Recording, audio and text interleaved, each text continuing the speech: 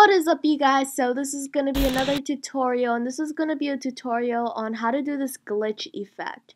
In the title it might say this was inspired by Matt Komo and that is true this is inspired. This is not exactly how his uh, glitch looks like. Um, so yeah, just know that it's not the same at all and I know that. Okay, so let's get started with the tutorial. So I have two clips right here.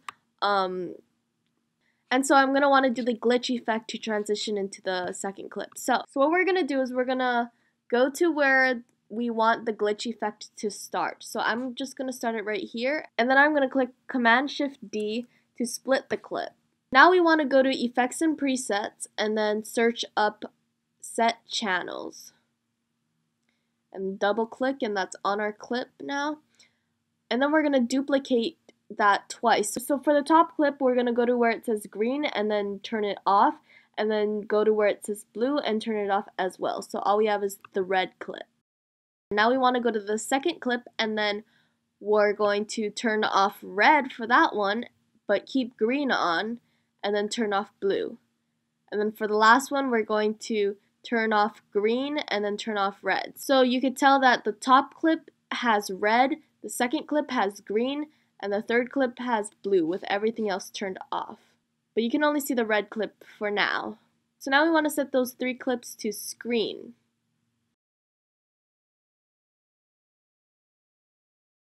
And now we see that nothing has happened. But if we go to scale and adjust the scale, we can actually see some of the effect going on.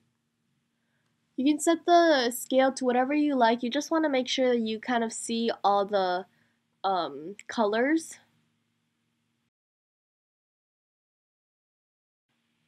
Now you just want to select all the clips and then press P for position. From the beginning of the three clips, we want to press the keyframe button and it will make a keyframe. I'm just going to zoom in a bit and then we can go a couple frames to the right and then move the clip however we want. Um, so you just want to move it in a random, randomly just sh shake it a bit. So that's what I'm doing right here. Every couple frames, I'm just moving the clip to however I like, and this is going to be how the glitch is going to move. And then at the very end, you want to just make it disappear. So I'm just going to move, drag the clip all the way down to the right corner and that will make it disappear. So if we now want to go to our bottom clip, which is the clip that we're transitioning into, which is this waterfall, I'm just going to drag it all the way to the left so that it is under the um, moving clip because we don't want to, because we want to be able to see the new layer instead of just a black background. What you also want to do is you want to check the boxes with the three um, circles, which is motion blurring. And later on, we'll click on the other motion blur button so that we turn it on. But for now, I'm just going to keep those two on. Now what we can do is we could just play around with the scale a bit. So I just press S for each um, layer. And I changed my red channel to be 113 and then my blue channel, which I actually moved to the center layer, um, is now 104. And then the third one is, which is my green channel, is 221. So now you can see a lot of the green, um, a bit of the blue, and some pink. Okay, so here my uh my green layer is lagging. It's not leaving, so I'm just gonna press P to adjust the position and then I'm just gonna drag it all the way to the corner and I'm gonna adjust the keyframes so that it moves all the way down.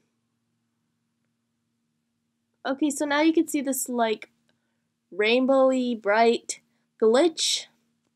Okay, so earlier I turned on motion blurring for the clips, but I didn't actually um, press motion blur to be able to actually see it so that it applies the effect, but now that's what I'm going to do. I'm going to apply the motion blur, and if we watch it back, we can see um, it's like blurry, so you can't see the edges of the glitch, and I think it looks pretty cool. I'm just going to close all these drop downs. Now what I also want to do is for that bottom layer, I'm going to I'm gonna Command Shift D and split the clip before the um, whole glitch ends. And then I'm going to add an expression for the position. So what I'm gonna do is I'm gonna press P to drop down the position again and then I'm gonna have my mouse click on the position and then I'm gonna go to animation and then set expression. So now this is what pops up. So now what we're gonna write in this is wiggle and then parentheses 300 comma 20 parentheses again and what this is gonna do is, is it's just gonna shake the clip. So if you look closely you can see that my bottom layer um, wiggles. It shakes the clip. Now let's press the S button so we have the drop down of the scale and what we want to do is we want to change the scale to 119. Actually, let's go to 110. And I'm just going to adjust the clips. So now we want to put the motion blur button on for this clip as well. And we can also check the box next to it. Um, and it'll do this cool contrast. And we can drag our last clip a little bit forward so we don't see as much of that wiggle of the first um, first part of the clip. So yeah, we can look through this and we can see that it glitches very nicely. And now if we add this glitch sound effect, it makes the video like 10 times cooler because like sound effects are everything, right? So yeah, that's the tutorial. I hope you guys enjoyed it. Please give it a thumbs up if you did. I know it's kind of scrambly, but it's honestly you just playing around with the scale and the colors of it.